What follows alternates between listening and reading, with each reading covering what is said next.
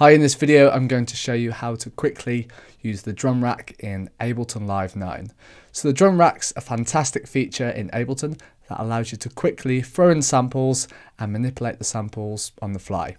So let's go on drums here and let's go on drum rack and then all you have to do is drag this onto the MIDI instrument here. Then each one of these, if you've got a MIDI controller hooked up, will actually hook up to a key so you can play in the drum samples in real time.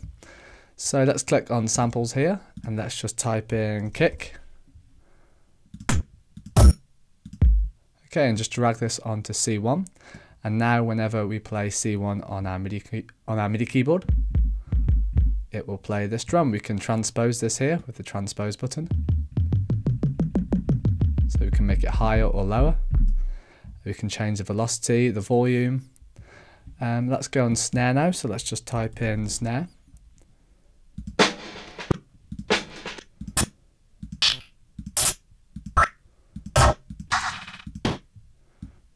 And let's drag this over to D. Can transpose this as well. We can also add effects to each individual um, drum hit as well. So let's go to audio effects.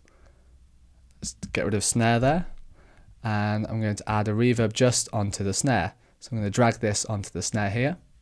And if you listen, there's a reverb on the snare. If we go to the kick, there's no reverb. We can drag in our own samples. They don't have to be Ableton samples. So basically any audio file. So I've got um, another kick here. So let's drag this over to C sharp one. So we've got two different types of uh, kicks now.